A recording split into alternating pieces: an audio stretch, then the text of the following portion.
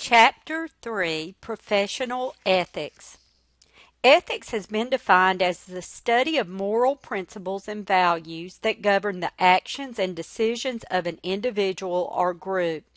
Ethical dilemmas often involve a mental conflict between differing moral requirements in which to obey one requirement will result in disobeying another. To resolve ethical dilemmas, you must first identify the problem and possible courses of action. Then identify any constraints relating to the decision and analyze the likely effects of the possible courses of action. And then, finally, select the best course of action. All recognized professions, medicine, law, engineering, architecture, and theology, to name a few, have several common characteristics. The most important characteristics are a responsibility to serve the public, a complex body of knowledge, standards of admission to the profession, and a need for public confidence. CPAs have all of these. CPAs are representatives of the public, including creditors, stockholders, consumers, employees, and others. They have an abundance of authoritative pronouncements that make up a complex body of knowledge. The standards for admission to the profession include the uniform CPA examination, as well as education and experience requirements. The CPA has a need to retain the public confidence in order to be successful. Without public confidence, the CPA attest function serves no useful purpose. The AICPA Code of Professional Conduct, adopted in 2014, provides guidance and rules for CPAs in the performance of their professional responsibilities. The code consists of principles which are goal oriented, positively stated statements on the profession's responsibilities to the public, clients, and fellow practitioners. The principles provide the framework for the rules, which are the requirements that are enforceable under the AICPA bylaws.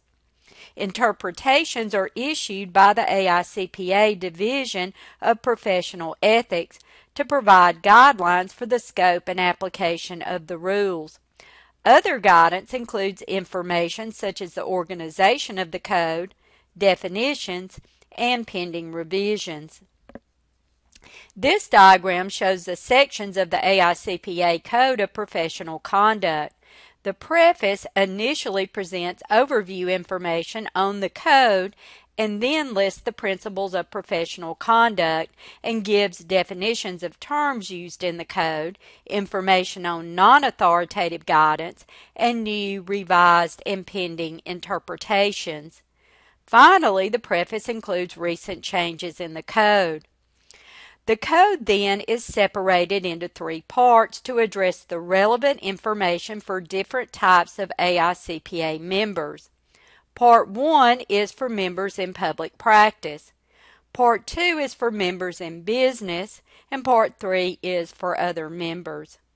All rules apply to CPAs in public practice, but some do not apply to members in business and other CPAs that may be retired or unemployed, as we will discuss later in the chapter. Because it would be impossible to enumerate all of the circumstances and relationships that may result in a situation in which there is a risk of noncompliance with the code, the code includes conceptual frameworks to address situations not directly addressed. Two conceptual frameworks are included for CPAs in public practice one for the overall code other than independence, and one for independence. And there is another for CPAs in business. The conceptual framework helps to evaluate threats to code compliance.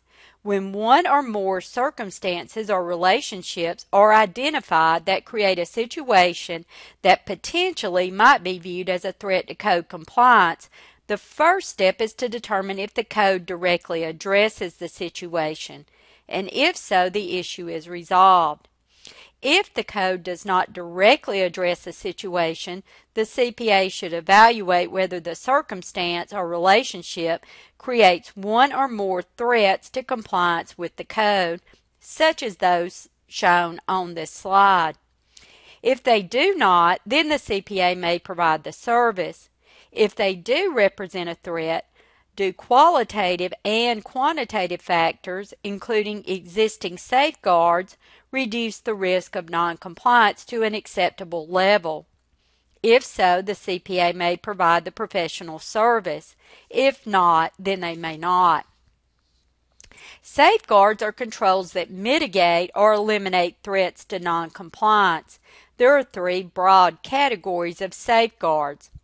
First, those created by the profession, legislation, or regulations, such as education requirements and competency requirements for professional licensure. Other safeguards may be implemented by the attest client, such as having management with suitable skills and experience to make managerial decisions.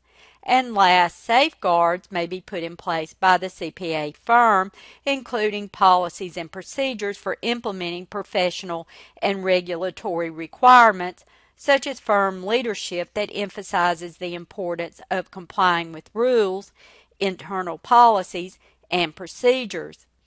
After considering these safeguards as well as the facts and circumstances, the CPA must make a final decision about whether the threat is at an acceptable level.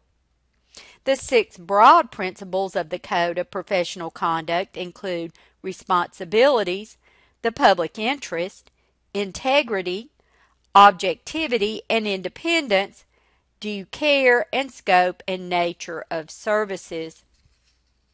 The rules of the AICPA Code of Professional Conduct are shown on this slide and will be discussed in more detail later in the presentation. CPA firm independence from a client is required when providing audit or other attestation services. Independence is not required for clients that a CPA firm provides no audit or other attestation services for. Independence is required both of mind, which is actual independence, and appearance. Independence of mind is a state of mind that permits the CPA to perform an attest service without being affected by influences that might compromise professional judgment thereby allowing the individual to act with integrity and to exercise objectivity and professional skepticism. Independence in appearance requires the avoidance of circumstances that might cause a reasonable and informed third party aware of all relevant information, including safeguards applied, to reasonably conclude that the integrity, objectivity, or professional skepticism of an audit firm or member of the attest, engagement team has been compromised. The AICPA conceptual framework for independence adapts the earlier framework for evaluation of threats to general code compliance to situations that involve independence. The relationship affecting independence must first be addressed by reference to the code itself. If the relationship is directly addressed but does not create a threat to impairment of independence, then there is no problem. If it does, then the auditor must follow code requirements. If the threat is not directly addressed, then the auditor must determine if qualitative and quantitative factors, including safeguards, reduce the risk to an acceptable level. If so, then independence is not impaired. If not, then independence is impaired. Examples of the broad types of threats to independence are similar to the threats to general code compliance. The examples of the threats to independence shown in this slide, though, are more indicative of the situations that a CPA in public practice conducting audits would be required to consider. The three categories of safeguards that can be used to mitigate threats to independence are the same as the safeguards for threats to general code compliance, but again, the examples of safeguards are specific to auditing situations encountered in independence of CPAs. Two particularly important concepts related to independence are one, individual accountant impaired independence versus firm impaired independence, and two, the nature of covered members. A public accounting firm does not necessarily lose independence with respect to an engagement when one or more of its employees or partners are not independent. In understanding CPA firm independence, it is critical to understand the concept of a covered member. In general, if a covered member's independence is impaired with respect to an attest client, the firm's independence is also impaired. A covered member is an individual, firm, or entity that is capable of influencing an attest engagement. Covered members are listed on this slide. All CPA firm partners and professional employees are under a number of restrictions relating to attest clients. Two primary requirements relate to overall investments in those clients and to employment status. First, no partner or professional employee of the CPA firm or immediate family may own more than 5% of an attest client's outstanding equity securities during the period of professional engagement. Also, no group acting together can own more than 5% or firm independence is impaired. No partner or professional employee of the CPA firm may be a director, officer, employee, promoter, trustee, etc. of a client. If a CPA was previously employed by the client, they must disassociate themselves from that client and not participate in audits of any periods during which they were employed by the client. There are additional independence requirements for covered members. Covered members cannot have any direct financial interest in a client, regardless of the amount, and no material indirect financial interest. Indirect financial interests generally involve an intermediary of some sort. For example, Assume that a CPA invests in a mutual fund, which in turn owns stock in a client of that CPA. The CPA's portion of that investment in the attest client is an indirect financial interest. Covered members also cannot accept gifts from clients or management, nor give gifts to an attest client. This slide illustrates the effects of individual CPA independence relationships on the CPA firm's independence. Covered members' independence affects firm independence in all categories, but financial interests of non covered members do not affect firm independence as long as they are less than 5% of stock or other ownership interest if it is a direct interest. The independence rule generally treats the interest of CPAs and their immediate families as indistinguishable from each other. Thus, as a general rule, a covered member's immediate family members, spouse, spousal equivalents, or dependents are subject to the same independence requirements as the covered member. There are two exceptions to the general rule. A family member may be employed with the attest client if the family member is not in a position to influence the client's financial statements. More specifically, the family member must not be employed in a key position. The second exception allows, in certain instances, an immediate family member of a covered member to hold a financial interest through an employer's benefit plan. This exception does not apply to immediate families of partners or professionals on the attest engagement team or those who can influence the engagement team. There are also rules relating to close relatives such as parents, siblings, and non dependent children, and other relatives and friends as shown on the slide. Important to the effect of immediate family and close relatives on a covered member's independence is whether the relative is employed in a key position in an organization. A key position is one that includes primary responsibility for or influence over the contents of the financial statements. Examples of key positions are members of the board of directors, chief executive officer, president, chief financial officer, chief operating officer, general counselor, controller, and treasurer, as well as others as shown. The Sarbanes-Oxley Act includes a prohibition on certain consulting services by public company auditors.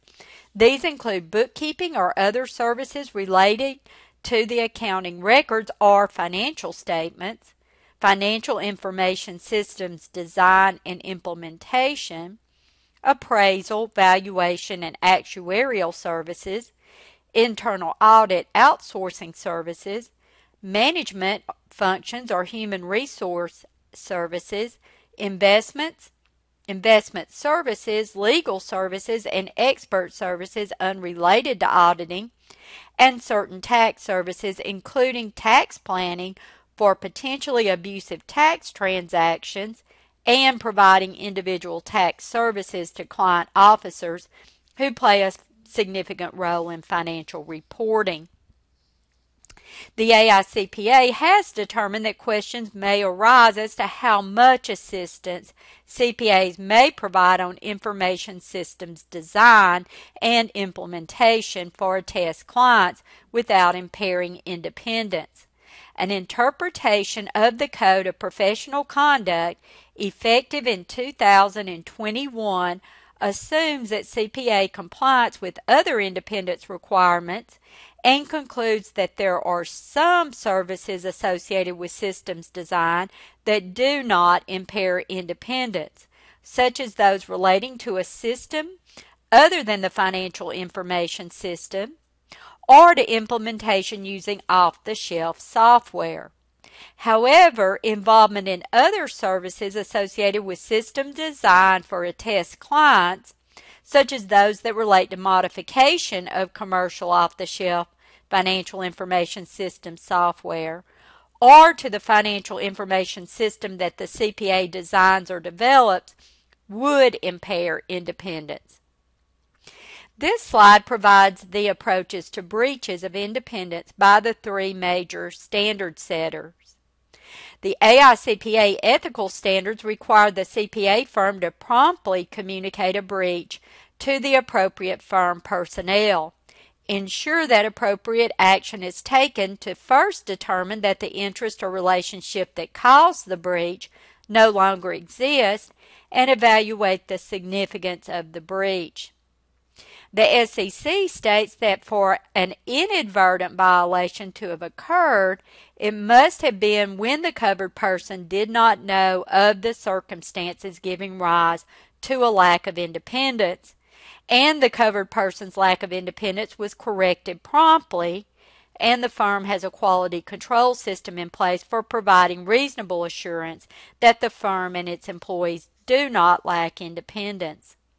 The PCAOB differs somewhat from the SEC in that if a breach is identified, the CPA firm must address the underlying circumstances that resulted in the violation and determine that the violation was of such a nature that the firm was capable of exercising objective and impartial judgment and that a reasonable investor with knowledge of all relevant facts and circumstances would conclude that the firm was capable of exercising such objective and impartial judgment. The breach must also be communi- communicated to the client's audit committee to make similar judgments. The integrity and objectivity rule applies to all members of the AICPA and all services provided by CPAs. An interpretation of the rule states that a CPA will be found to have knowingly misrepresented facts in violation of the integrity and objectivity rule when he or she knowingly makes or permits or directs another to make materially incorrect entries in a client's financial statements or records, fails to correct financial statements that are materially false or misleading when the member has such authority, or signs or permits or directs another to sign a document containing materially false or misleading information. The General Standards Rule applies to all CPA services and states that a member will comply with standards and interpretations relating to professional competence, due professional care, planning and supervision, and sufficient relevant data. The Compliance with Standards Rule requires CPAs to adhere to the professional standards issued by various technical bodies as shown on the slide and states that CPAs must become familiar with the applicable standards issued by these technical bodies and apply them to their engagements. The Accounting Principles Rule recognizes the authority of certain designated bodies to issue generally accepted accounting principles. Under this rule, the AICPA has designated the FASB, GASB, FASAB, and IASB as such bodies. In addition, a CPA may report on financial statements prepared following principles of other organizations if the CPA's report or the financial statements make clear the financial reporting framework and do not suggest that generally accepted accounting principles were used. The Acts discreditable, discreditable rule gives the AICPA the authority to discipline those members who act in a manner damaging to the reputation of the profession. The three bulleted circumstances outlined in the integrity and objectivity rule relating to misleading entries in financial statements are considered discreditable. Other rules cover client records, CPA prepared records, CPA work products, and CPA working papers, and when they should be returned are provided to the client. CPA working papers prepared solely for the engagement, whether prepared by the client or the auditors, need not be provided to the client. An accountant in public practice is prohibited by the contingent fees rule from providing services on a contingent fee basis in certain circumstances. No contingent fee engagements are allowed for services prepared for a client that also engages that public accounting firm to perform audits, reviews, certain compilations of financial statements, or examinations of prospective financial information. A CPA may not receive a contingent fee for the preparation of original or amended tax returns or claims for tax refunds. Preparation of a tax return includes giving advice on how particular items should be handled on the return. The PCAOB prohibits all tax contingent fees and prohibits auditors of public companies from accepting engagements for tax services that are determined based on the results of judicial proceedings or the findings of government agencies. CPAs who perform either audits, reviews, or compilations of financial statements or examinations of prospective financial statements cannot accept a commission from the providers of services and products for recommending services or products to a client. However, CPAs who do not perform any of these services may receive such a commission if disclosure is made to the client. For example, a CPA that does not perform any of these services may receive a commission for purchasing and selling securities for a client as long as they disclose the existence of the commissions to the client. For many years, CPAs were strictly forbidden by the AICPA rules from advertising. Now they may advertise as long as the advertising, advertising is not false, misleading, or deceptive. Acceptable advertising is that which is informative and based upon verifiable facts.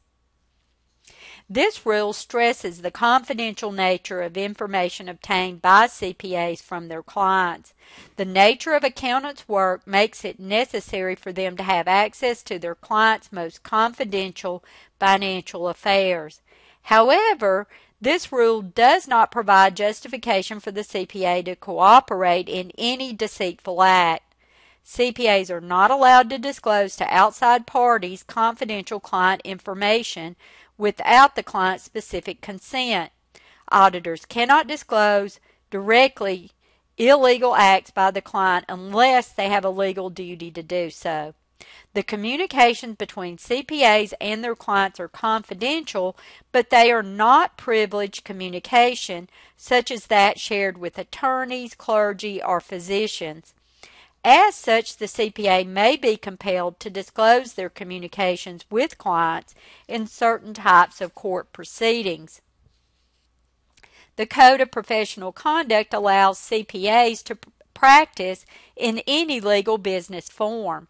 This includes the ability to practice as professional corporations, limited liability partnerships or companies, partnerships, and sole proprietorships. Fictitious names are allowed as long as they are not false, misleading, or deceptive.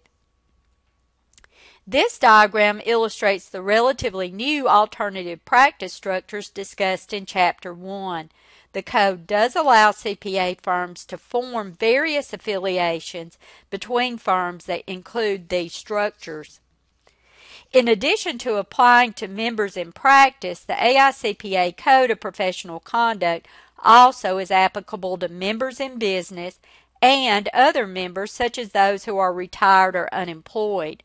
Members in business must comply with applicable rules for integrity and objectivity, general standards, compliance with standards, accounting principles, and acts discreditable.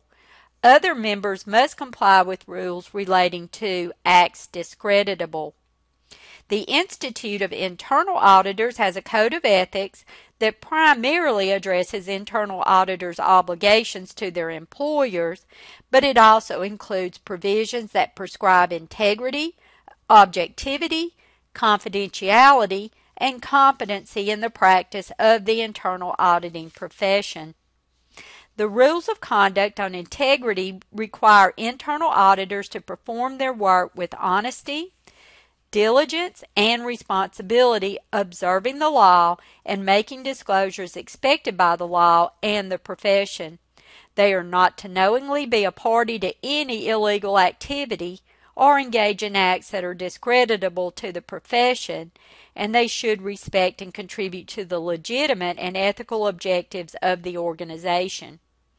In order to maintain objectivity, internal auditors shall not participate in activities or have relationships or accept anything that may impair or appear to impair their unbiased assessment. And they shall disclose all material facts known to them that, if not disclosed, may distort the reporting of activities under review. To protect the confidentiality of their employers, internal auditors are required to be prudent in the use of and protection of information obtained in the course of their duties and not use information for any personal gain or in a manner detrimental to the legitimate and ethical objectives of the organization.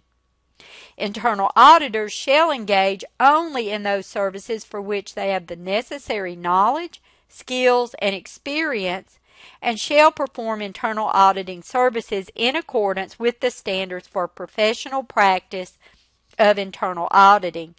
They shall also continually improve their proficiency and the effectiveness and quality of their services. And this is the end of the presentation for Chapter 3.